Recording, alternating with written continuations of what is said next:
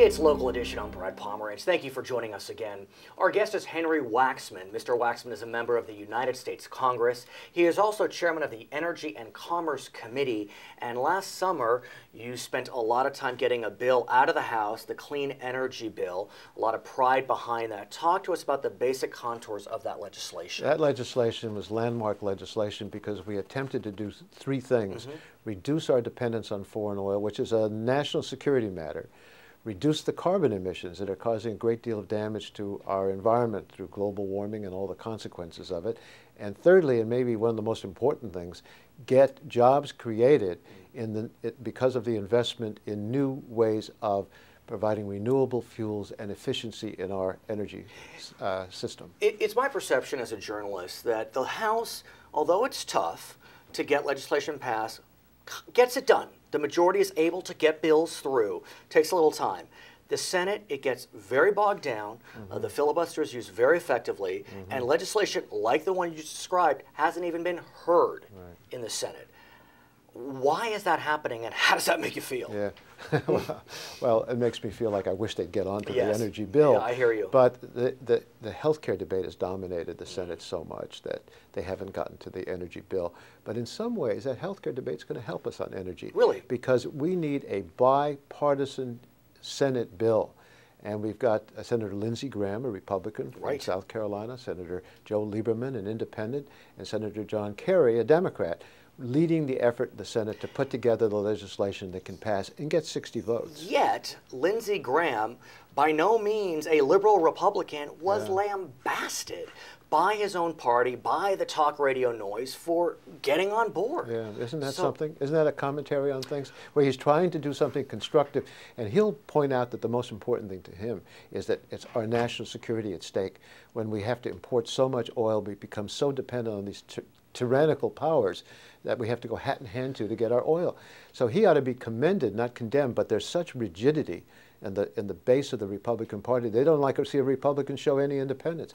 But he said to me, the fact that Republicans have been block step against health care he thinks will help him get more Republicans to recognize that he, they can do something in this area. Recently, we've had um, Republican elder statesmen like Alan Simpson, uh, mm -hmm. senator from Wyoming, yeah. Newt Gingrich, former speaker. They have said the Republicans need to play ball.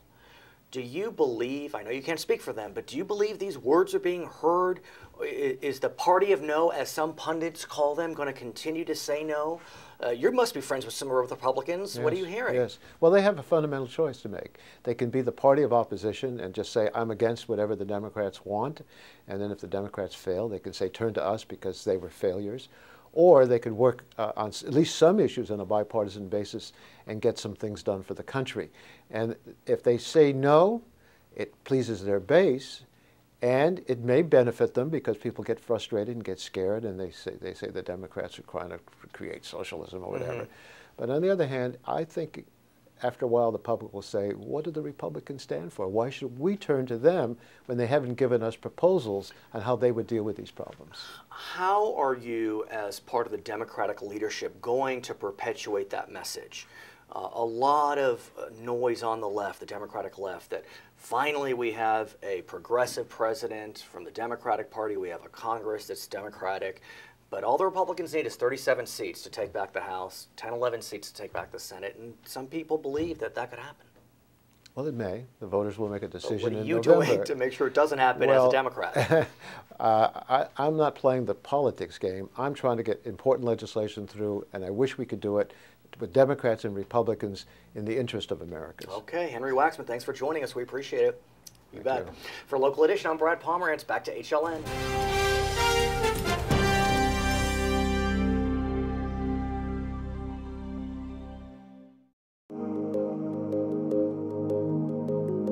As your business searches for smart ways to save,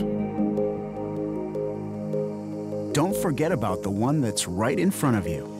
Switch to the Charter Business Bundle and you can save big without sacrificing a thing. Get reliable business telephone and high-speed internet with local support and great features.